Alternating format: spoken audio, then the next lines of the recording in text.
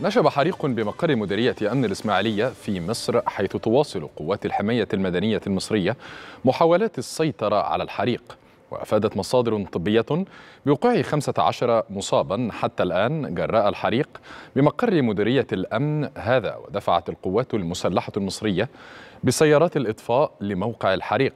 كما أعلنت وزارة الصحة المصرية الدفع بنحو 30 سيارة إسعاف لموقع الحريق للتعامل مع الإصابات بحريق مديرية الأمن. كما أفادت مصادر طبية مصرية إعلان حالة الطوارئ في مستشفيات الإسماعيلية للتعامل مع الإصابات بحريق مديرية الأمن.